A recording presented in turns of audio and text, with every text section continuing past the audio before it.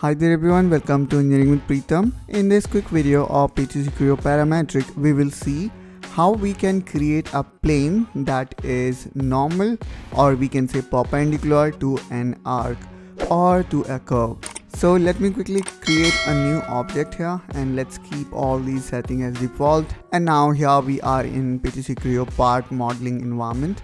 Now in order to create this 3D curve, let me quickly create uh, some points so for that I'm going to use this offset coordinate system point and here we go. So um, we can see the dialog box of offset coordinate system points appear. We need to select our reference coordinate system. Now I can specify some value in x y and z. So let me quickly put some value.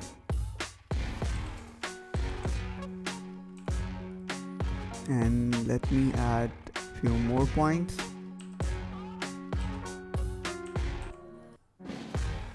so you can also provide some value in negative.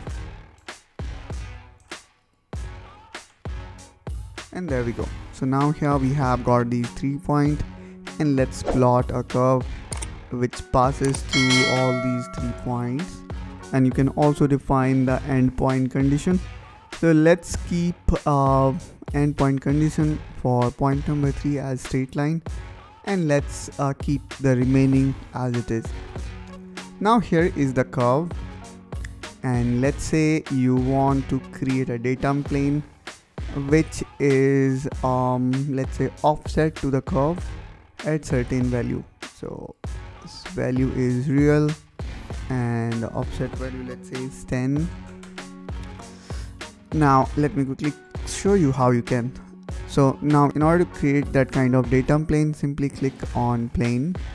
Now select the curve and select the datum point. Now here we can see the condition as through. Just change the condition of the curve from through to normal.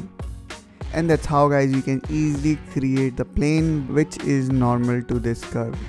So that's all guys from my side in this video. I hope you find this video helpful and informational if yes, then don't forget to like and subscribe to this channel for such content and uh, please do let me know if you have any question regarding this